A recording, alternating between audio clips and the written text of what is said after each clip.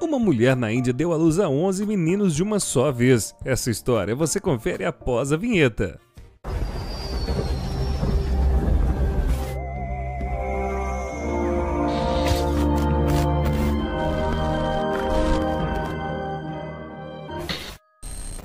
Se você acha que uma mulher dar à luz a dois ou três filhos já é demais, imagine essa mulher indiana que deu à luz a 11 bebês ao mesmo tempo.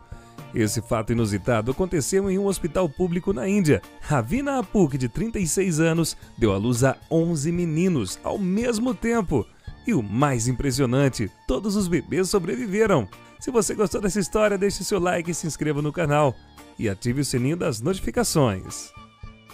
Olá, galera inexplorada. Eu sou Rafa Modesto, sou locutor e você já está conhecendo a minha voz, né? Sou o narrador aqui do canal Inexplorado, mas também tem o meu canal. Espero que você dê uma passadinha lá rápida, se inscreva e assista aos meus vídeos.